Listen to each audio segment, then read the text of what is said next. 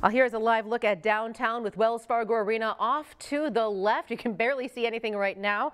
Uh, March Madness happening right now under its roof, and you can see not at all a pleasant day out there.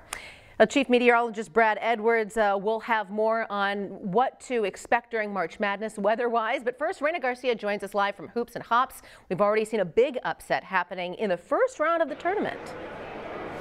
Yeah, the four seed Virginia was knocked out of the tournament by the 13 seed Furman. That's definitely uh, busted a lot of people's brackets, mine included. We all actually may have another upset brewing between Arizona and Princeton. That's a 2 and 15 matchup. But looking ahead to one of the games we have going on tonight are, is the Iowa Hawkeyes taking on Auburn in their first game of the tournament. This is an 8-9 matchup, so no major upset alert to look forward to like that Virginia Furman game. And yesterday we heard Fran McCaffery talk about that Auburn defense. It's really tough and they have great shot blocking ability and they defend the three ball really well.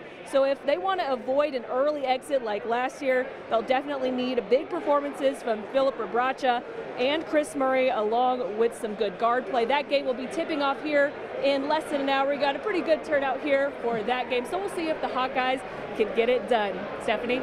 Looks like a lot of fun. All right, Reyna, thank you so much. Well, Hoops and Hops is happening nearly all night long until 10 p.m. And uh, whether you're a passive basketball fan or a diehard, it's an atmosphere built for everyone.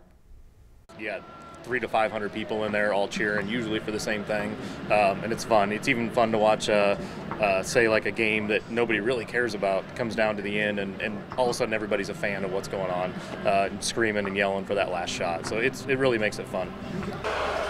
Hoops and Hops is open 10 to 10 every day through Saturday. And if you're worried about the cold, it's a heated tent and the drinks from the Iowa Craft Beer tent may help as well. If you can't make hoops and hops, uh, try FanFest. This is happening now at the Iowa Event Center, Hall C. Catch Des Moines says you can experience the atmosphere of March Madness without a ticket to the games. FanFest is free with plenty of TVs. You can also get food and drinks here. Tonight's the only night FanFest is available.